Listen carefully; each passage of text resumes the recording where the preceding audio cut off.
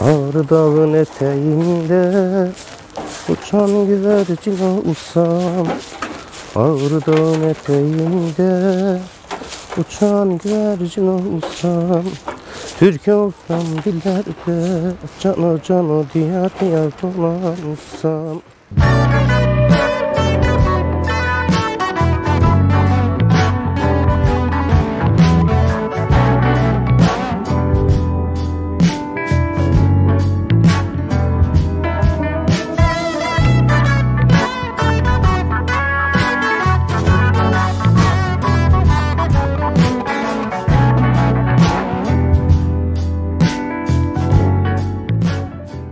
Ben ismim Ünsal Topçu.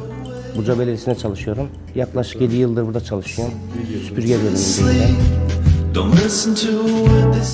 Şimdi sabah evden geldiğimde faraş süpürgeyi elime aldığımda işe mutlu başlarım ben.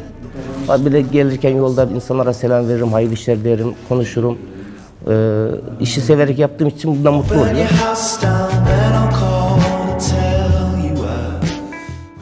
Ee, sabah saat 6'sında kalkıyoruz, yollara düşüyoruz. Yani saat 8'i çeyrek geçiyor, 8.30'a kadar hava aydınlanmıyor.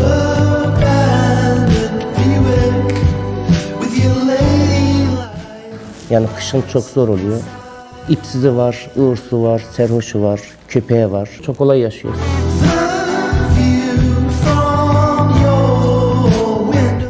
Çevre bizim çevremiz. Biz yaşadığımız için bizim çocuklarımıza iyi bir çevre bırakmamız için örnek olmamız lazım.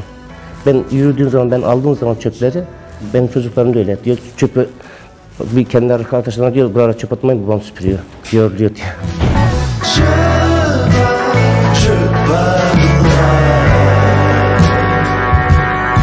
Buca biraz şanslı. İşçiler çok çalışkanız açıkça söyleyeyim bunu. Yani bizler biraz daha çalışkanız.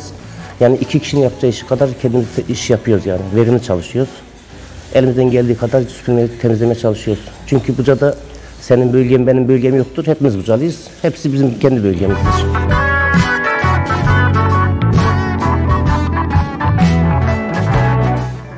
Bir laf vardır ya aslan yattığı yerden belli olur.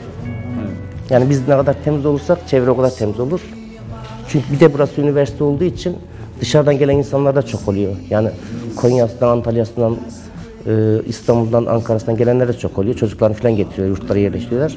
Yani onlara da örnek olmamız lazım. Aldığımız paranın hakkını vermeye çalışırız. Her şeyden önce yani yaşadığımız yer. Biz Bucalıyız, Buca'da yaşıyoruz. Yani Buca'nın temizliği bizim temizliğimizdir. Çünkü çocuklarımıza iyi bir gelecek bırakmamız için yani onlara örnek olmamız gerekiyor.